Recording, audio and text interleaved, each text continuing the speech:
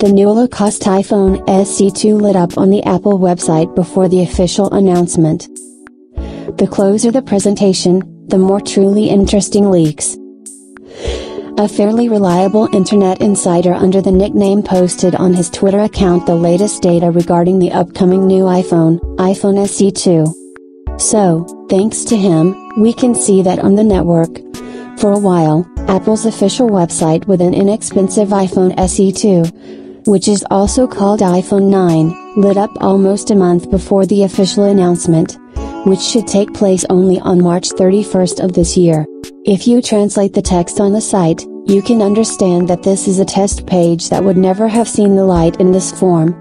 Most likely, it would have been brought to mind and opened for the whole world right by the end of the presentation, on which the novelty will be shown.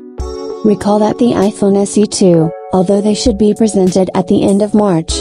It is likely that the novelty will go on sale a little later. Such a delay is associated with the coronavirus epidemic in China, due to which many plants have ceased their activities for a long time. As for hardware, the iPhone SE2 will be based on the Apple A13 processor, which debuted last fall on the iPhone 11 and 11 Pro.